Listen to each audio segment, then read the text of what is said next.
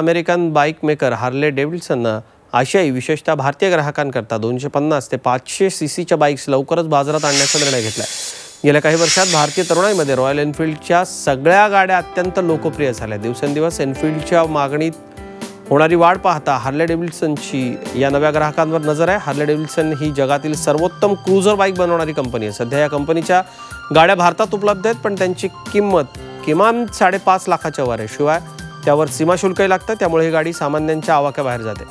भारतीय बाजारातील अडीचशे ते पाचशे शिस्तीच्या गाड्या विशेषतः बुलेट घेणाऱ्या प्रत्येक तरुणाला एकदा तरी हार्लेची मालकी मिळावी अशी इच्छा असते. पण खिशाला परवडत नसल्यानं अनेकांची ही इच्छा अपुरीच राहते. आता कमी ताकदीची गाडी बाजारात आणून याच तरुणाची इच्छा हल्ले पूर्ण करणार आहे त्याकरता हल्ले नव्या रूपात बाजारात येणार आहे.